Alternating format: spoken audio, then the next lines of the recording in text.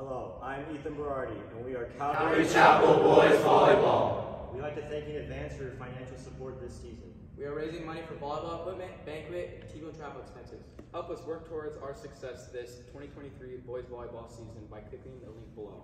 Your tax-deductible gift is greatly appreciated. Thank you. God bless. Calvary on me. One, two, three. Calvary!